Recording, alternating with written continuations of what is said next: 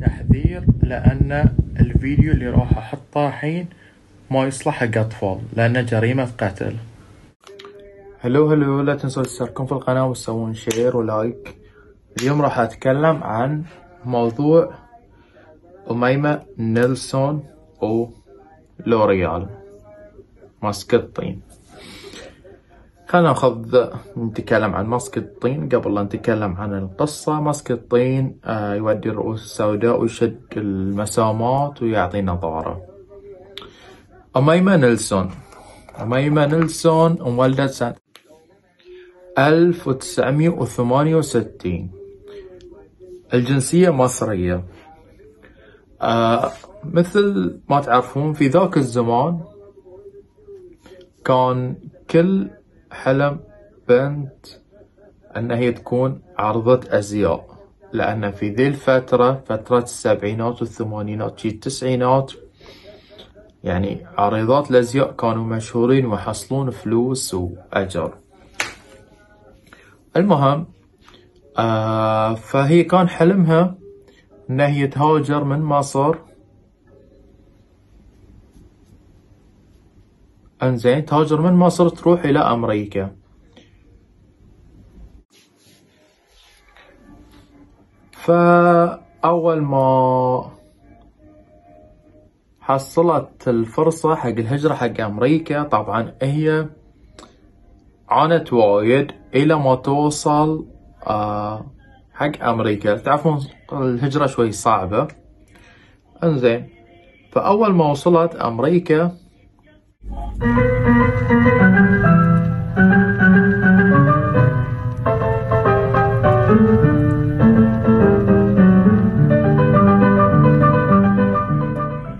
حطيناه مثل ما تشوفون نخليه من خمس إلى عشر دقايق انزين وصلت أمريكا آه فشنو كانت بداية بدايتها إن هي كانت مربية لأطفال صغار. كانت babysitter انزين اشتغلت babysitter لفترة طويلة إلى ما قدرت أن تحصل شخص يخليها تكون عارضة أزياء.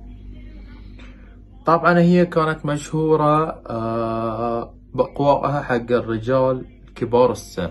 كانت ما تطلع إلا مع كبار السن. سنة الهجرة هي طبعا سافرت من دون علم أهلها. آه مثل ما قلت لكم اشتغلت كمربية أطفال إلى ما حصلت أحد يوصلها عالم عرض الأزياء. أول ما حصلت هاي الفرصة حققت شبه يعني نجاح. قدرت تشتري سيارة تشتري بيت. في سنة ألف وتسعمية وواحد وتسعين التقت بزوجها ويليام نيلسون. هو كان عمره ستة وخمسين سنة وطيار متقاعد. وفي شقته في كاليفورنيا سنة ألف تسعمية وواحد وتسعين أميمة هني آه مثل ما يقولون آه على حسب هي كلامها أن تمللت من وضعها. أنه كان ريلها يضربها ويغتصبها انزين. فاضطرت في عيد الشكر اللي هو يكون في أكتوبر ان هي تقوم تاخذ مكواية وتضرب ريلها إلى ما توفى طعنته. وعقب هاي الحين قصرنا الوي مثل ما تشوفون يرطب البشرة ووايد حلو ويقشرها.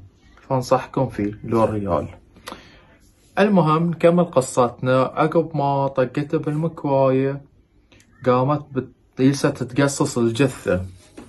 انزين أول ما قصصت الجثة سوت أول ما ابتدت قصت عضو الذكري اللي هو قضيبة.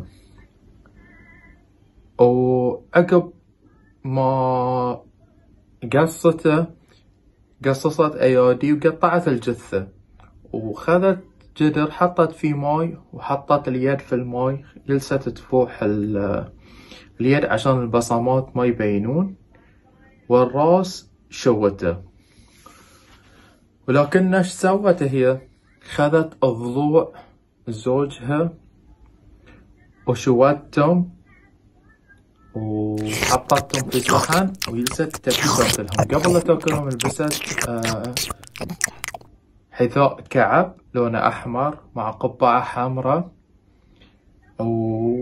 وبرزت لها ال barbecue sauce. تاخذ الضلوع وتحطهم في ال barbecue sauce وتاكلهم يعني كلت ضلوع زوجها. لكن زوجها كان ضخم وايد. فسوت خذت بعض المصارين وحطتهم في الديك الرومي لأن في عيد الشكر تعرفون لازم يكون يحطون ديك الرومي. وقطته في الخمام لكن أنا بما أن ريلها وايد ضخم سوت قامت شالت الأحشاء الثانية وحطتهم في أكياس خمام. إنزين وراحت حق لأن هي يعني هي في ورطة يعني ما تعرف شو تسوي راحت حق صديقة لها وعرضت عليها مبلغ خمسة وسبعين ألف دولار بأن هي تساعدها تخلصها من الجثة.